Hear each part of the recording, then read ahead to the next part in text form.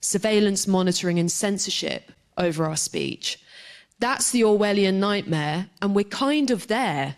COVID changed everything. Censorship was being marketed as protecting the monolith of science. The internet gave us the possibility to have the greatest democratization of speech and information ever. Ever. Censorship is never about science, it's about control. That's why they shadow ban, promote wickedness while putting muzzles on the average man. Yeshua coming back, better hurry with your battle plans. When that time comes, you gon' be stuck like it's a traffic jam. Bet my song, but then I beat